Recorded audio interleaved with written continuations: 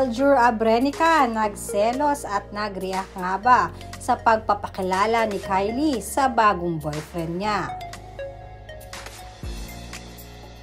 Naging usap-usapan nga sa lahat ng social media platform ang ini-upload ni Kylie ng mga video clips nila kasama ang isang mysterious guy.